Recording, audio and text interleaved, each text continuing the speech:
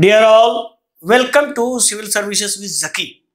Today we are going to discuss about how are lake related to the groundwater and as you know this is related to the major geographical concept series and uh, my geographical concept series is based on the best graphics and animation as you know. So uh, but as you know our geographical concept series will continue in this year also and after uh, the water resources we also start with the land resources. So after this video you can find the what is soil and other things. So uh, this is uh, these uh, topics are very very these topics are very very significant for the civil services examination whether it is indian geography or world geography. So let's uh, see what what are the today's topics. So today's topic are how are lakes related to the groundwater another is what is a perched lake? Another how do stream interact with water table? And also what is a gaining stream or gaining river? And also what is a losing stream and losing river? So we discuss all these uh, topic. So stay with us, us till the end of this video.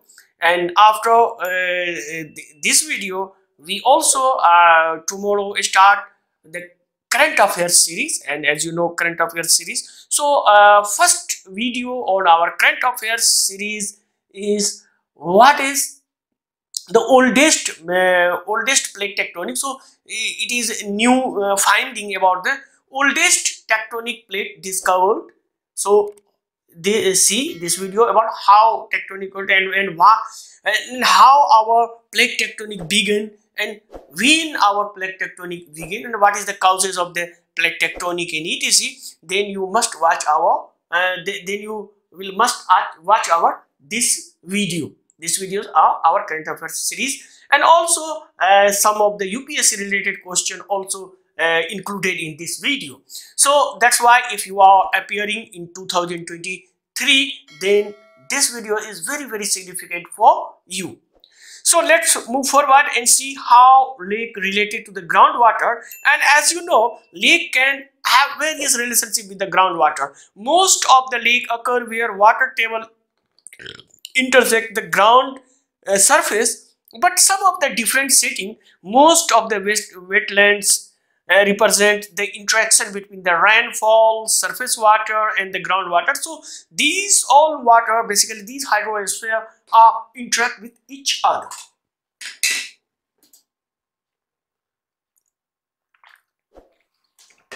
And see groundwater and many nourished by the groundwater flow. So see how. So first see so some lakes are perched above the water table. So see this type of the lake this type of the lake. So uh, lasting only a short period of time. So if, if when some type of the precipitation happen some water basically uh, accumulated here and finally they go to the deep into the groundwater surfaces so uh, maybe this type of the lake maybe is some short period of time. So uh, lasting only some short period of time uh, after the precipitation. But uh, approach uh, approached uh, lake can be permanent if uh, inflow water uh, into the lakes at least equal to the outflow. So some see inflow and some of the outflow. If inflow and outflow equal they uh, then they lake maybe uh, survive year and after year. But if inflow uh, is more and outflowing very less then this lake is um, for a very short time period. Uh, basically these lakes are very very very above uh, to the valley and some up to, uh, above to the ground. So that's why this is perched lake so uh, move forward and see how these water run to the bottom of the valley. So see here. Next most lake mark where the water table intersect rises above the land surface. So lake can be fed entirely or partially by inflow of the groundwater. So see this lake, this lake. So most of this type of the lake basically form where the groundwater intercept the surface. So see here. So these are the basically source of the water of this lake. So basically maybe uh, this lake entirely formed by these groundwater and maybe partially some groundwater and some precipitation and all that. So it may be uh, inflow. So uh, here inflow is more than the outflow.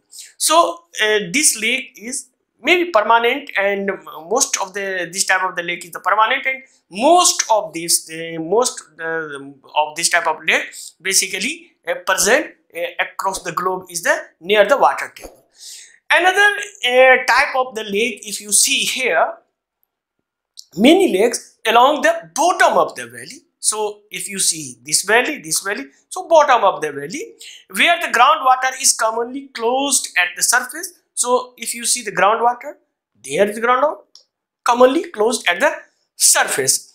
And uh, uh, such lake may be nearly the equilibrium position. So it means equilibrium means adjacent groundwater neither gaining nor losing. So here neither gaining nor losing. So here they present no neither gaining and nor losing. So this type of the equilibrium position. So such type of the lake form. But if you go uh, beyond this uh, uh, lake, some peripheral lakes also present. So see here, uh, see here.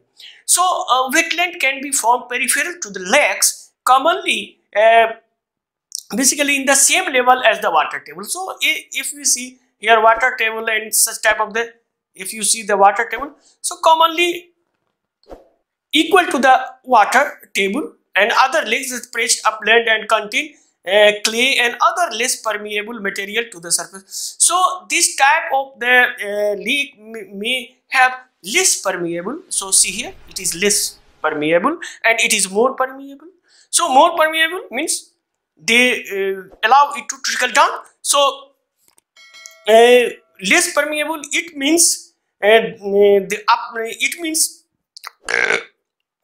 material close to the surface the low permeability can trap precipitation and runoff so due to low permeability uh, uh, precipitation and runoff basically trap in this type of the surface. So slowing the infiltration water into the ground. So they basically slow the infiltration and maybe stop the infiltration of the groundwater forming a wetland or ponded water. So forming a wetland. So that's type of that's kind of the wetland also present in the this type of so these are the basically relationship between the uh, pond uh, lakes and uh, basically ground water. So what is the relationship between the river or stream with the groundwater? So see in our next step. So how do a stream interact with the water table? So see here. Water in many small rivers if you see some small river and stream decreases to the trickle down entirely disappear farther down to the drainage. So if uh, go to the sum of the so due to trickle down some river vanish so in other cases a stream will follow even though there has not been rain or snow melt in a long time. So if you see somewhere a river but here not the source of the uh, rainfall or source of the ice melt but why this river form? So long time. So what is the source of this river water? So what is the source? So basically these occurrences are the result of the interaction of the groundwater. So basically these stream are the interaction of the groundwater. Due to the groundwater these streams are formed.